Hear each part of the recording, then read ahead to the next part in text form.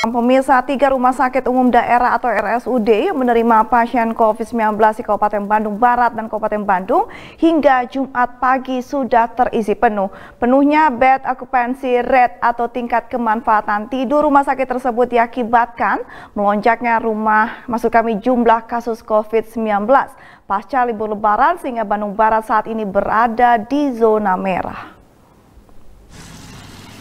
Salah satu tempat rujukan pasien COVID-19 di Bandung Barat yaitu Rumah Sakit Umum Daerah RSUD Lembang.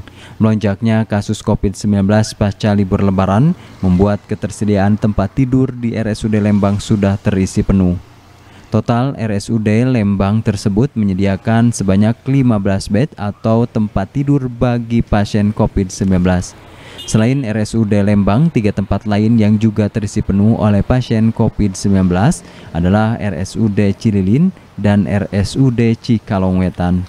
Di RSUD Cililin dari 24 tempat tidur kini terisi penuh, termasuk dua bed ruang ICU. Sama halnya juga dengan RSUD Cikalongwetan yang terisi penuh dengan total 15 bed. Penuhnya ruang isolasi di tiga RSUD di Bandung Barat karena banyaknya warga terpapar pasca libur lebaran, sehingga muncul sejumlah klaster dan membuat Bandung Barat berada di zona merah dengan total 667 kasus positif atau rata-rata 70 orang per hari. Informasi dan laporan dari Dinas Kesehatan bahwa tiga rumah sakit yang ada di Kabupaten Bandung Barat ini penuh ya di rumah sakit Cililin, rumah sakit Lembang dan rumah sakit Cikalongwetan.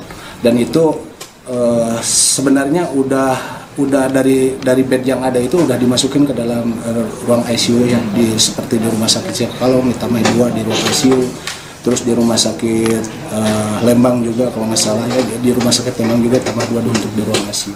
Karena pasien di RSUD Lembang saat ini mengalami lonjakan uh, dari total bed eh, sekarang yang disediakan 16 bed sekarang sudah full 16 bednya. Nah untuk rencana penambahan bed kita eh, secara bertahap kita akan menambah sampai dengan eh, 20 bed. Dinas Kesehatan Kabupaten Bandung dan Kabupaten Bandung Barat saat ini telah mengambil langkah darurat yaitu dengan cara menambah ruang rawat pasien COVID-19. Selain itu, Dinas Kesehatan juga terus melakukan tracing sekaligus pelacakan terhadap kontak erat warga dengan pasien positif untuk memutus rantai COVID-19. Algi Muhammad Gifari, Bandung TV.